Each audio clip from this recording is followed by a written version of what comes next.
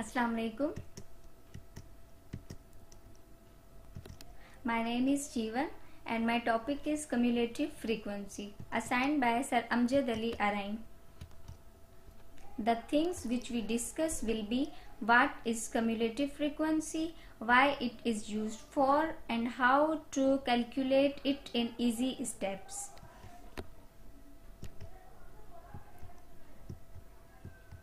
So, the cumulative frequency. Cumulative frequency is the analysis of the frequency of occurrence of values of a phenomenon less than a reference value. The phenomenon may be time or space dependent. It is also called frequency of non-exceedance or simply it is the accumulation of the frequencies. So about the usage, it helps in explaining a situation or planning interventions for instance flood, flood protection.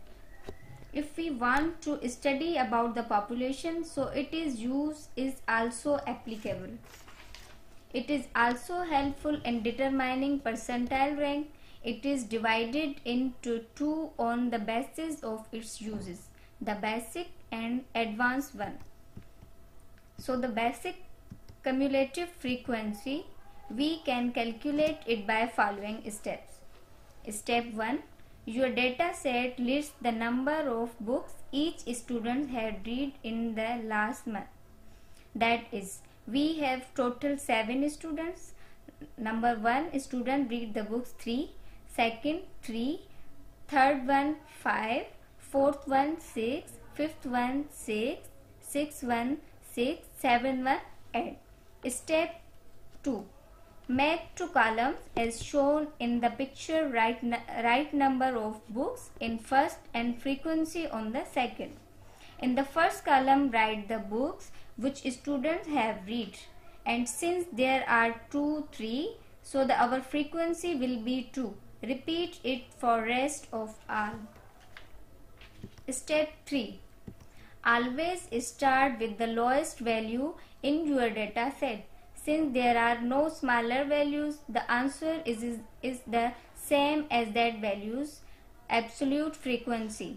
Example, as our low, lowest value is 3, the number of students who read 3 books is 2. No one read less than that, that. So the cumulative frequency is 2. Step 4 to find the cumulative frequency for the next, take the last cumulative frequency you found. Then add this value's absolute frequency. Step 5. Repeat the remaining values. Step 6. Once you are once you are done, you have added together the number of times every variable has appeared the final cumulative frequency should equal to the total number of data points in your set. To check it, just add all the individual frequencies and the sum will be final cumulative frequency.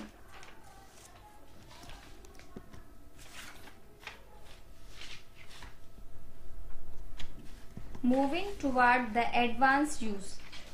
Discrete data comes in unit you can count you can count such as number of dogs. Continuous data describes something uncountable such as depth of snow as snow gradually builds up not at one unit at a time. Now we have now we have a data set that is 233, 259, 277, 278 and so on. We can find cumulative frequency as we find earlier. One cumulative frequency is calculated. Draw a graph. If data set goes from 1 to 8, draw an x-axis with 8 units marked on it. At each value on the x-axis, draw a point at the y value the equal to the cumulative frequency. Connect each pair of points with a line. The median is the value exactly in the middle of data set.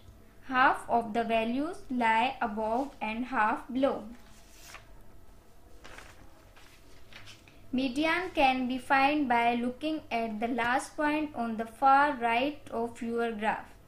Its y value is total cumulative frequency.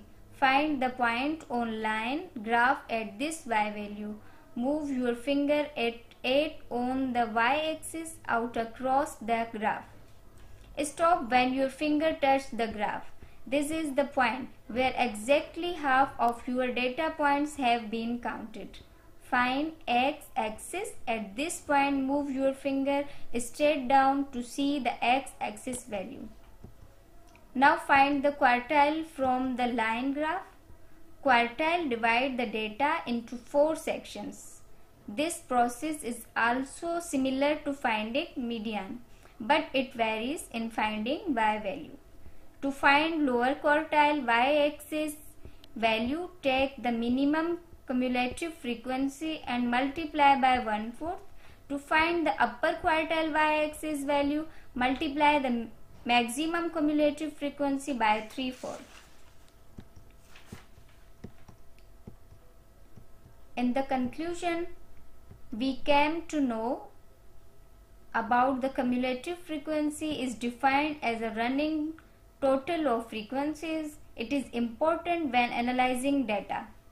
I hope you have understood that term the cumulative frequency. Thank you.